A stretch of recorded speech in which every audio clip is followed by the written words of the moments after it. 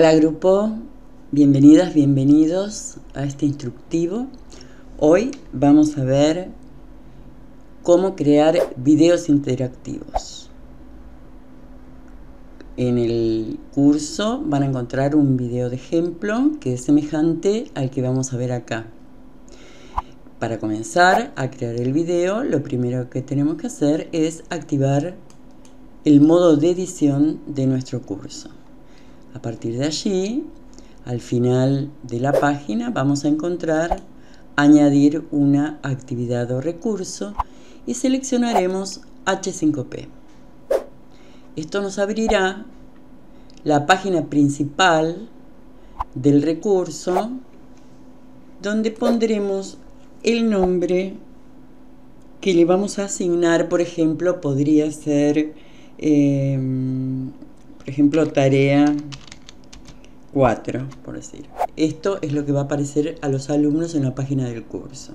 Podemos también agregar una descripción y aquí tendremos que agregar el recurso que previamente hayamos creado.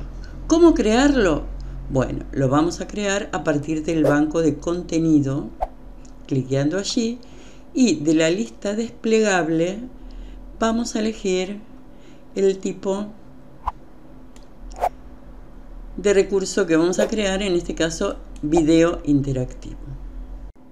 Esto abrirá la ventana del editor del video, donde pondremos un título, en este caso vamos a poner la célula, que es el que va a aparecer en el banco de contenidos. Y luego añadiremos el video que va a ser la base sobre la cual vamos a agregar las interacciones. Tenemos dos posibilidades. O subir un fichero desde nuestro disco duro, por ejemplo, pero tenemos que tener en cuenta que no pese más de 10 megas, que es el límite del servidor. Y si no, directamente introducir una dirección de un video que ya esté en la web. En este caso voy a poner control V y vamos a pegar así la URL de este video que es un video de mm, educ.ar. Ponemos insertar. Aquí veremos este recuadro que aparece en negro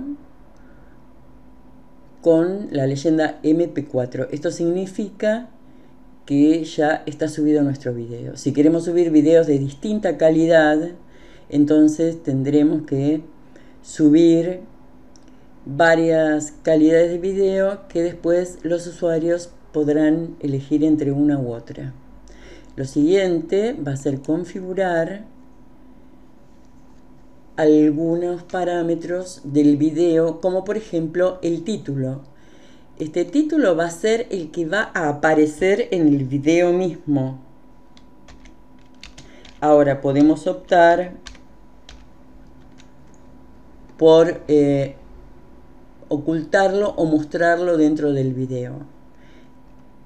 Eso va a depender, por ejemplo, que agreguemos un cartel. Si nosotros ponemos un cartel que va a ser una imagen, que tenga, por ejemplo, el logo de nuestra institución educativa y el nombre del video, bueno, en ese caso entonces ocultaremos el título al inicio del video porque lo que se va a ver va a ser esta imagen. En este caso no vamos a colocar imagen. Tenemos que tener en cuenta también que para los videos de YouTube esa imagen no va a funcionar.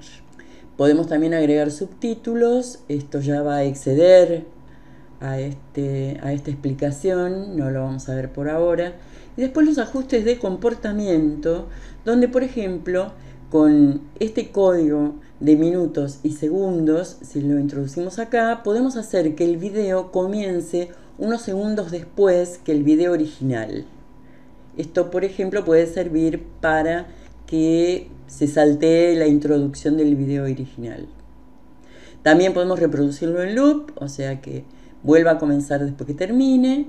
Y en este caso podemos ya em, configurar en general los botones de mostrar solución o de reintentar para las preguntas que incorporemos. Eh, de todos modos, estas opciones se pueden configurar en cada una de las preguntas en particular.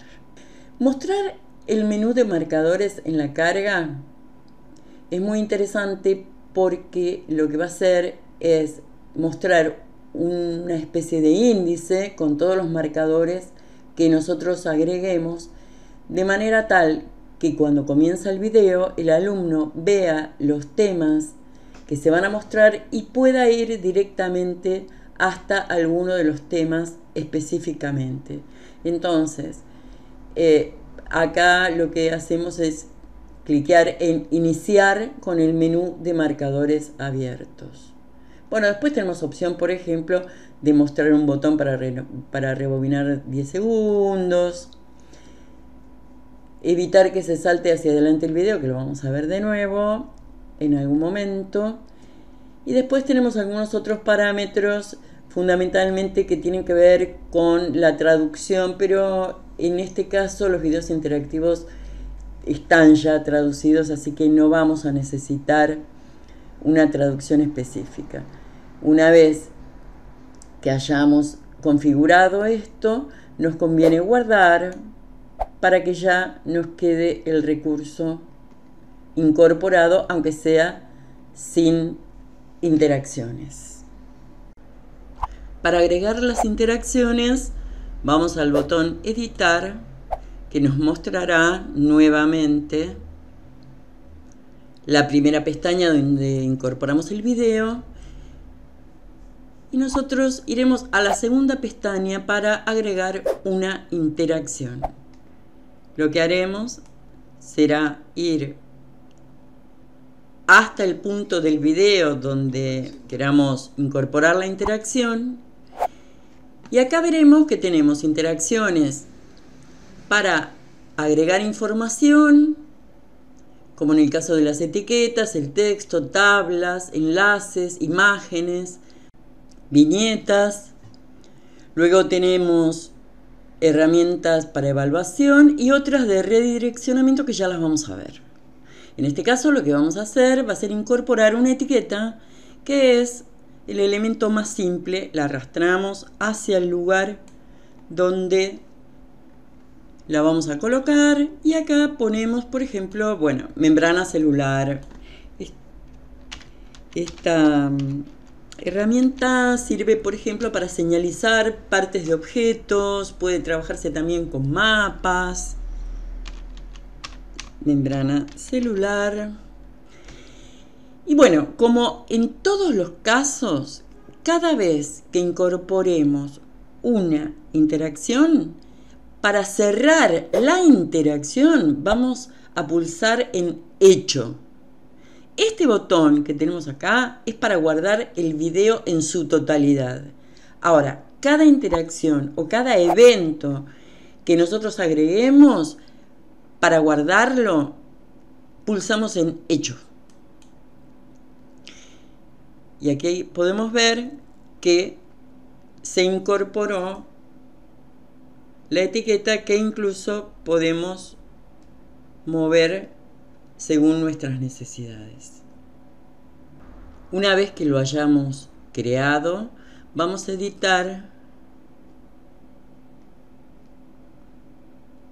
la etiqueta y vamos a ver que lo que primero que aparece es la duración y la ubicación en el tiempo. Eh, va a aparecer eh, inicialmente en el segundo y décimo de segundo, bueno, en este caso, donde nosotros lo hayamos creado.